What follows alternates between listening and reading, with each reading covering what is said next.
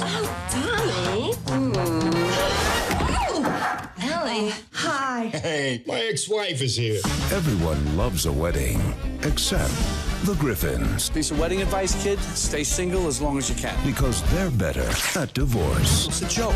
Oh, right. I forgot. You haven't laughed since the 60s. Yeah, not since I married you. Yeah, well, ah. promise to never do that again. Is Miss O'Connor's virginity still intact? Excuse me, sir? Father Moynihan's just fine, son. Now, His mother is very much a Catholic. We just found out that she's coming to the wedding. She is.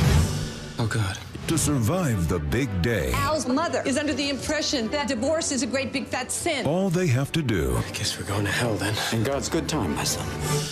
I'm kidding. is to survive each other. Just pretend to be married for the weekend. What's the big deal? Oh, God.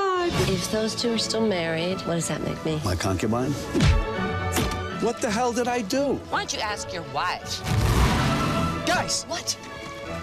What are you doing? Estos son mis otros papás, Don y Ellie Griffin. Um, Estro, eh, casa. Mi casa And- uh, whatever. This is gonna go great. Lionsgate and Millennium Films cordially invite you She would like to meet Father Moynihan. This hospital's hangover's worn off by now.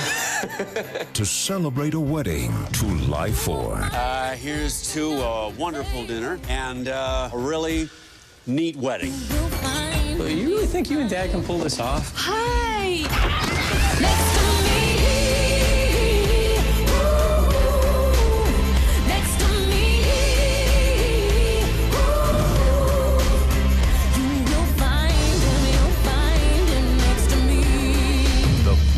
Big. It must be very comforting to know that not everybody hates you.